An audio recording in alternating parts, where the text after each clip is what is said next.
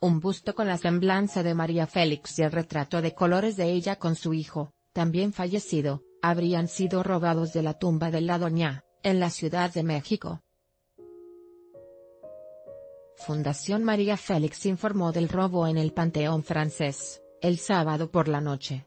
Los ladrones dañaron los mausoleos que tenían bronce y se llevaron candelabros y floreros. Los ladrones rompieron vidrios y ventanas para entrar al mausoleo. Se llevaron hasta letras y cruces, aprovechando la poca vigilancia. Aristegui Noticias difundió que se está pidiendo a los administradores del panteón que se apliquen medidas de seguridad más estrictas, pues ni a los muertos respetan, como denuncian en redes sociales. Está pasando, boletos para gorilas se acaban en 10 minutos precalifica tu crédito PYME. Desde dólar $100,000 hasta dólar $5 MDP te damos respuesta en 48 horas y puedes disponer del dinero en menos de 10 www.premo.mx.